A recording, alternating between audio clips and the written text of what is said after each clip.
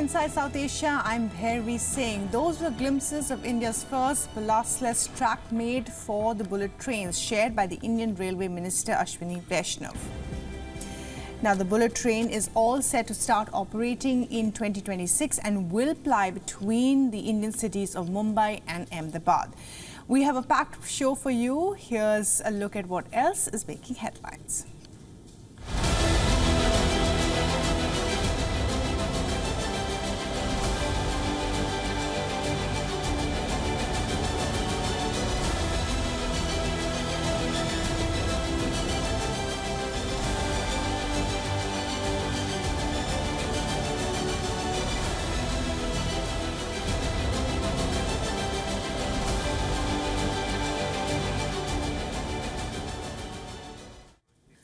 Up on the show, the Pakistan Prime Minister Shehbaz Sharif has his task cut out as he plans to visit China.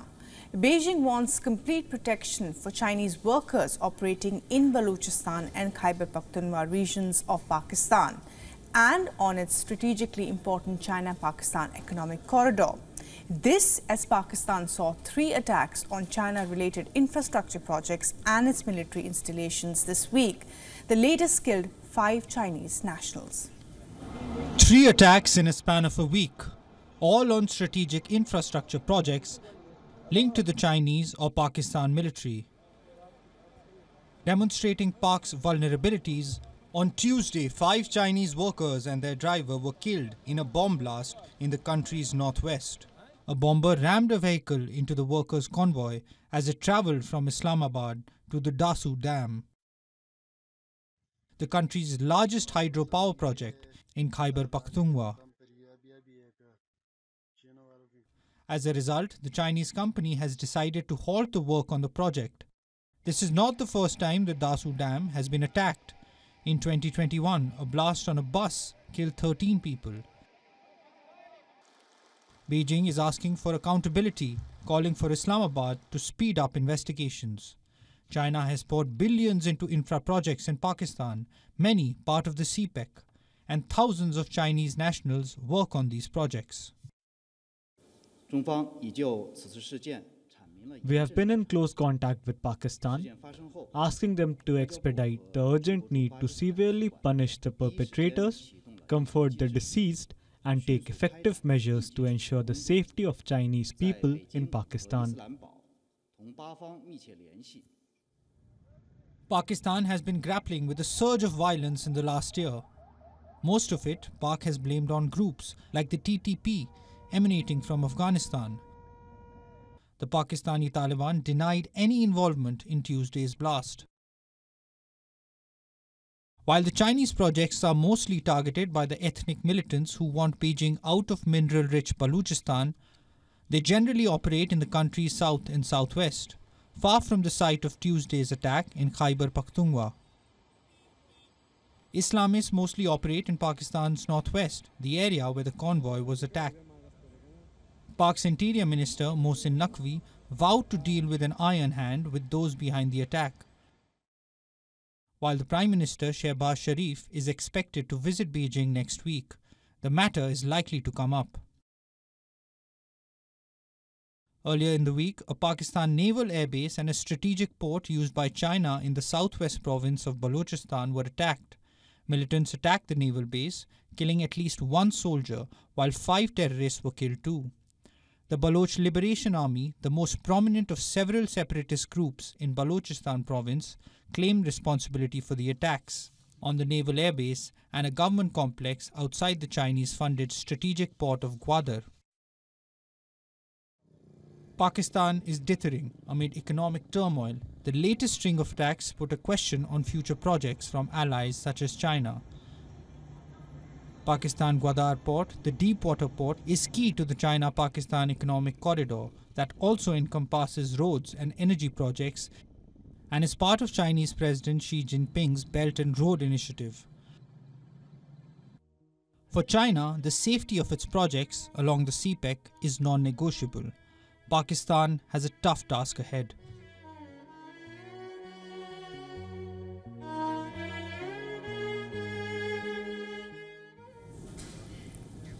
Well, news now from India, and it's being called a major flashpoint between the ruling BJP and the opposition India bloc. Sitting Delhi Chief Minister Arvind Kejriwal has been in the Enforcement Directorate custody for a week now.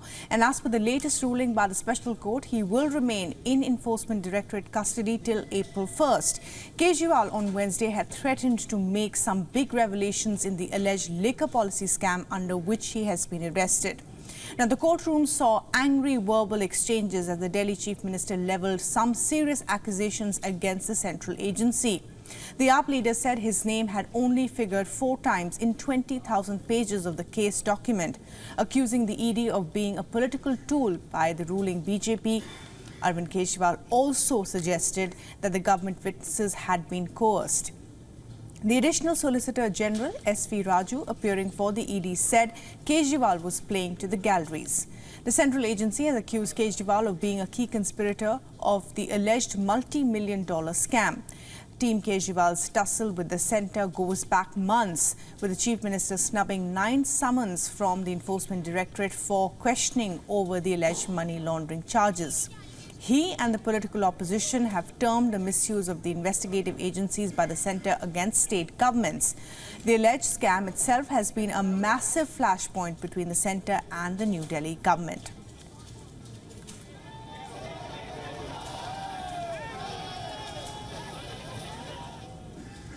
And not just him, well, two of Kejriwal's own ministers, Manish Sisodia and Sanjay Singh, have been arrested in the case and have been in jail for months. Condemnation from across the opposition bloc followed with the Kejriwal government issue, issue seen as a uniting factor for the India alliance ahead of the elections.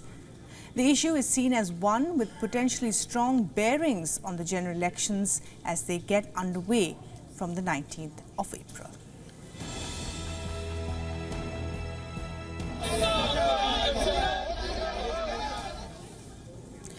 While facing ethnic and military violence at home, thousands of Rohingya refugees are making a perilous journey by sea in search of a better life. A boat with more than 150 people capsized off the coast of Indonesia this week, putting the spotlight once again on the horrors and the tragedies of an entire generation of Rohingya Muslims. A dinghy boat crowded with 151 people men, women, children at the mercy of the deep blue sea for miles and miles around them.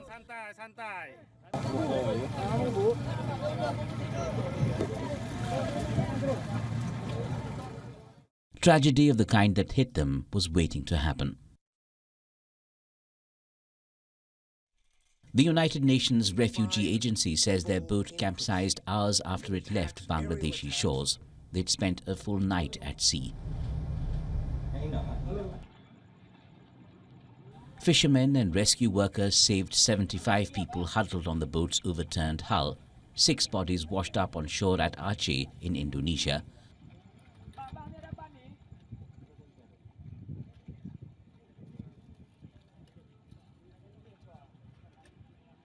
Seventy more are missing or dead, including the fleeing Rohingya refugees and the boat's crew.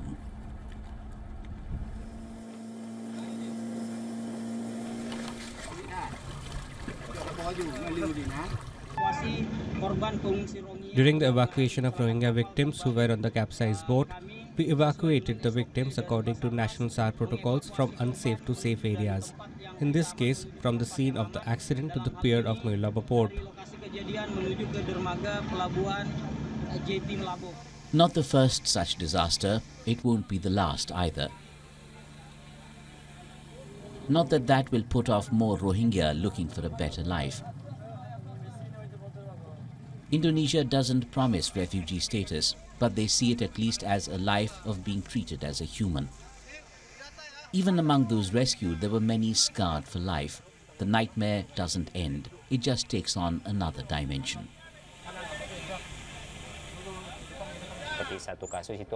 There was one case, a child whose parents and siblings died. There was another case where the husband, wife and child died. Also children whose mothers died. So there were several families who said their relatives had disappeared or died at sea. Some 740,000 Rohingya had fled Rakhine State in 2017. A nightmare as dark awaited them in refugee camps in Cox's Bazar in Bangladesh, and then on to newer and ongoing phases of the horror. Imagine if you are a Rohingya family with a young person or a young, a young Rohingya uh, man being forced to join the very military that is barraging your villages with these aerial attacks. The very military that committed genocide against your community, sending hundreds of thousands of Rohingya over the border into Bangladesh. I can't imagine anything as horrific as that kind of situation faced by, by the, uh, by the Rohingya. UNHCR data says that more than 2,300 Rohingya arrived in Indonesia last year. That's more than the number that have crossed over in the last four years combined.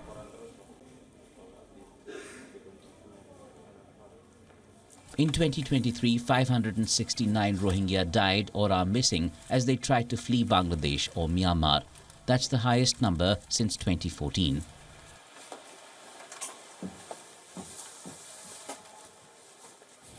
The numbers grow uglier.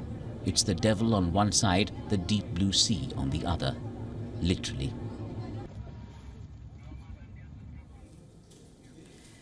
And well, if you wish to climb the Mount Everest, you require a new checklist that entails not just oxygen masks, hiking gear, food, but also poop bags.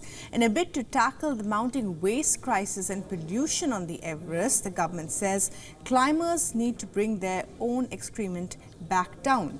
Our next report has more on the latest regulations.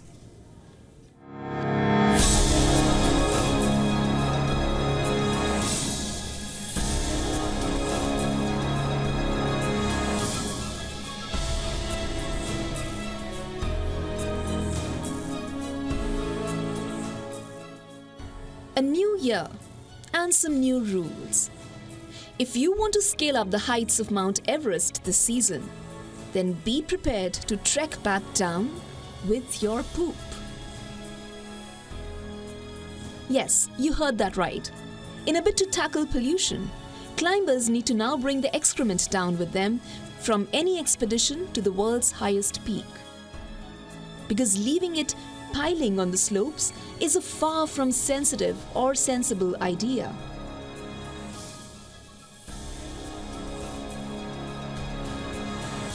Worry not.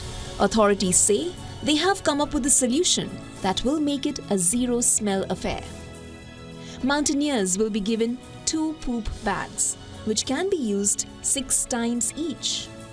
The bags contain chemicals to solidify the waste, which will make it odorless.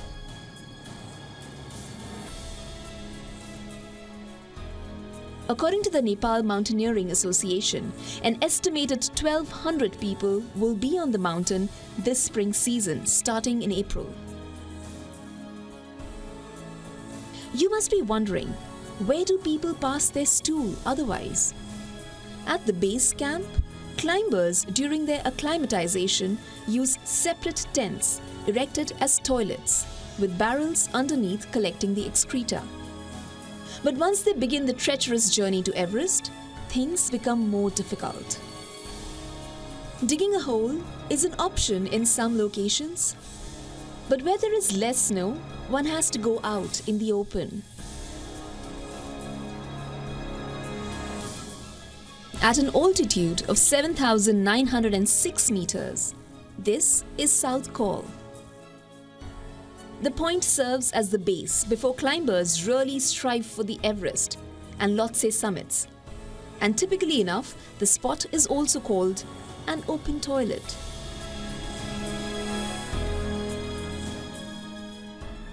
Decades of commercial mountaineering have also turned the world's highest mountain into the world's highest rubbish dump. An increasing number of big spending climbers pay little attention to the ugly and smelly footprint they leave behind.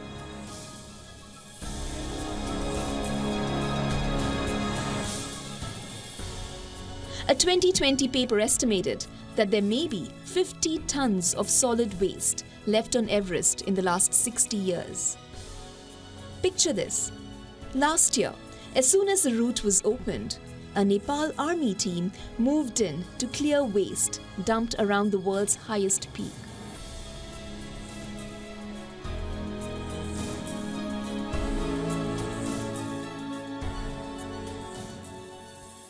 Authorities are hoping to make Everest cleaner.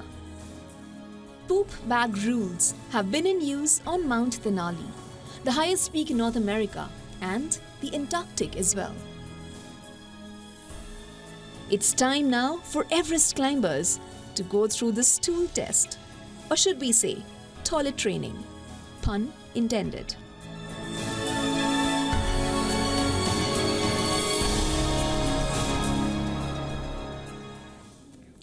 And now let's tell you what else is making news across South Asia.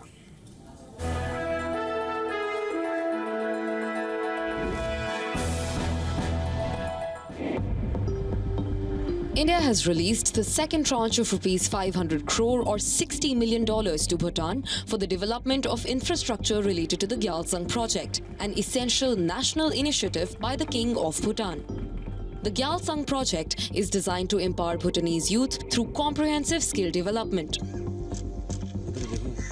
The fund release comes less than a week after Indian Prime Minister Narendra Modi concluded his two-day state visit to Bhutan. Modi has assured Thimphu of New Delhi's firm support in its quest for development and agreed to provide rupees 10,000 crore or 1.2 billion dollars to the Himalayan nation over the next 5 years. The first tranche was released on January 28th earlier this year. Sri Lankan Prime Minister Dinesh Gunawardena met with Chinese President Xi Jinping in Beijing on the 27th of March. This is the first visit by a Sri Lankan leader to Beijing after Colombo put a moratorium on recurring visits by Chinese research ships to Hambantota port due to India's security concerns. However, during the recent meeting, the Chinese president called for joint efforts on high quality Belt and Road cooperation, particularly on two flagship projects the port city Colombo project and the Hambantota port in Sri Lanka. He also called on the two sides to deepen logistics, energy, and industrial cooperation. India is keeping a close eye on the six day visit of the Lankan Prime Minister as China's footprints continue to grow in the region.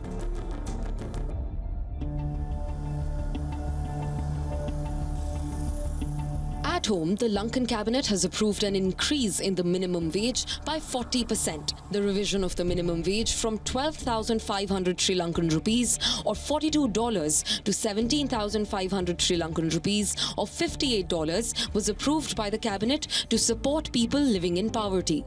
Under this, the national daily wage will also be increased by 200 rupees.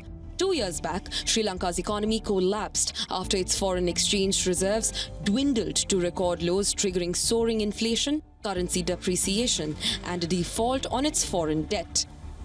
Helped by a $2.9 billion program from the International Monetary Fund, the island of 22 million people has seen its economy slowly stabilize, with inflation reducing to 5.9% in February from a high of 70%.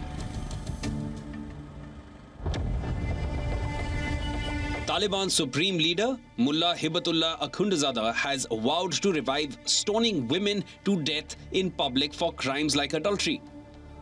According to Akhundzada, women's rights as advocated by the international community are against the Taliban's interpretation of Islamic Sharia. In a voice message aired on state TV, he said, You say it's a violation of women's rights when we stone them to death, but we will soon implement the punishment for adultery. We will flog women in public. We will stone them to death in public. Afghanistan State TV, now under Taliban control, broadcasts voice messages purporting to be from a Akhundzada, who has never been seen in public aside from a few old portraits. He is believed to be based in southern Kandahar, the long standing stronghold of the Taliban.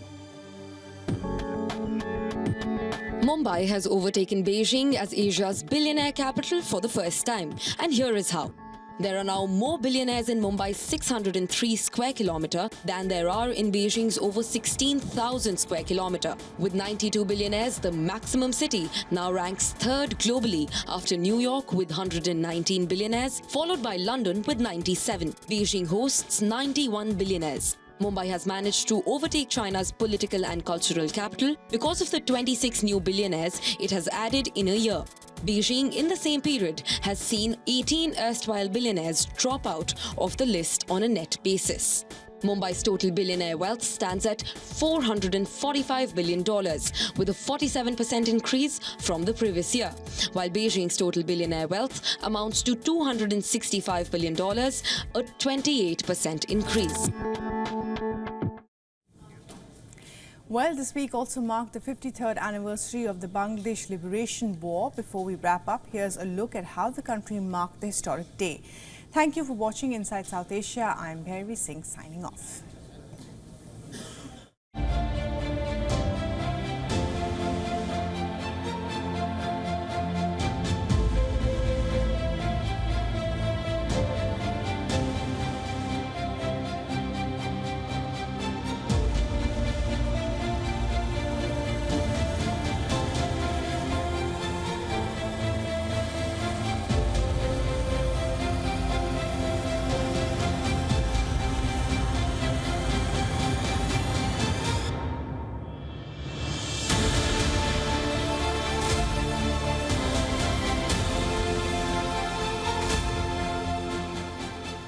They have sacrificed their life, Indian nationals, for our freedom. So uh, our heads off to them and we are really grateful